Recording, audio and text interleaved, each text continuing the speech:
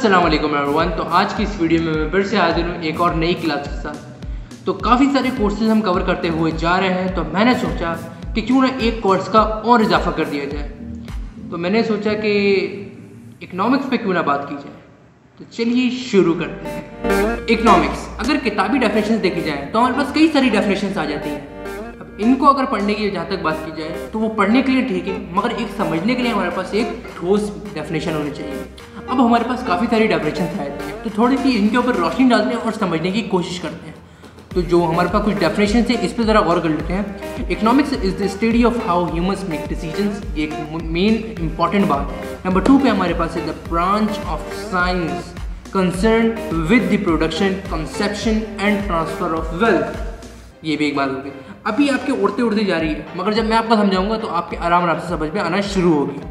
उसके बाद तीसरी डेफिनेशन जो है मेरे पास वो है so far the number of definition have given the various economist These definitions, however, can be grouped together under the following three heads. अब हमारे पास थ्री हेड्स क्या है? वो समझना पड़ेगा।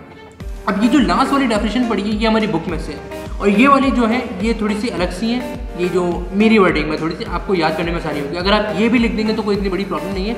मगर ये जो लास्ट वाली है नंबर थ्री वाली जिसके अंदर तीन हेड्स हैं ये हमारी बुक से, जो हमारा निसाब है इसमें से। तो जो तीन हेड हैं इकोनॉमिक्स के, जो मेन है, उनको ज़रा डिस्कस कर लेते हैं।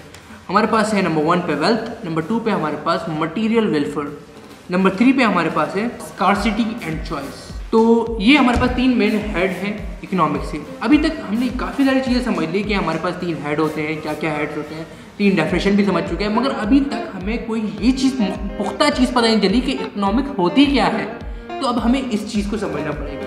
हम आम अपनी ज़िंदगी में रोज़मर्रा में हम काफ़ी चीज़ों में इकोनॉमिक्स का इस्तेमाल कर रहे होते हैं, जो कि हमें पता भी नहीं होता। क्योंकि हमने आज तक कभी पढ़ा ही नहीं होता इकोनॉमिक्स के बारे में। तो फ़र्स्ट ईयर में हमें पहली बार इकोनॉमिक्स के बारे में पढ़ाया जाता है। तो अब इकोनॉमिक्स क्या होती है? अब हमें ये चीज़ समझनी ज़रूरी है।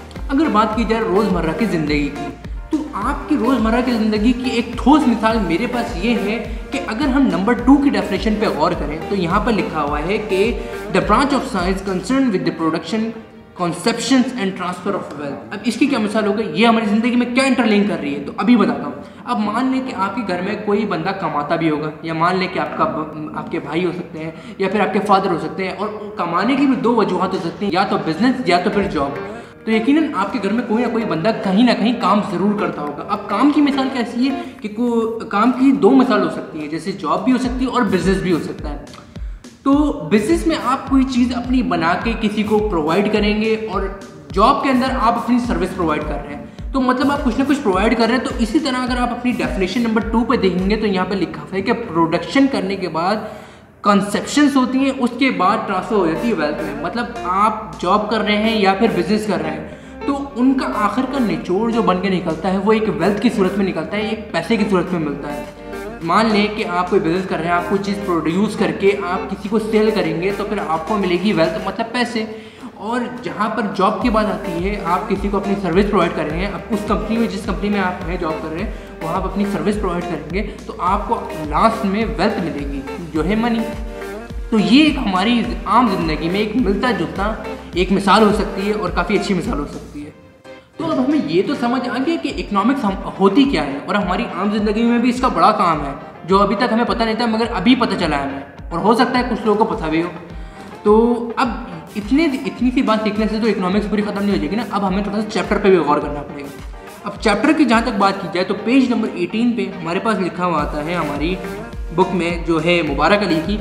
तो मैं यही कहूँगा कि आप इस बुक को परचेज़ कर लें, ताकि हमारी कोऑर्डिनेशन बन जाए।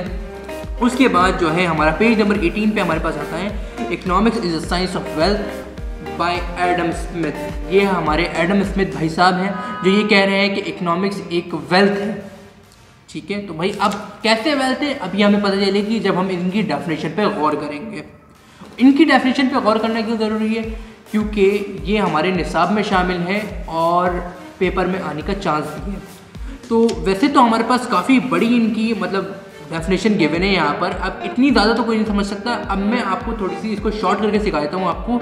अब जिस तरह मैंने आपको एक मिसाल दी है, कि जो अभी मैंने आपको जॉब वाली मिसाल दी है कि हमारी आम ज़िंदगी में तो ये एक ही मिसाल नहीं है इकनॉमिक्स की। इकनॉमिक्स कई तरीके की होती है। इसी वजह से इस बुक के अंदर काफ़ी सारी लोगों ने अपनी अपनी कॉन्सिक्वेंसीज बताई हुई हैं। तो हर बंदा अपनी अपनी एडवाइस यहाँ पे शो कर रहा है।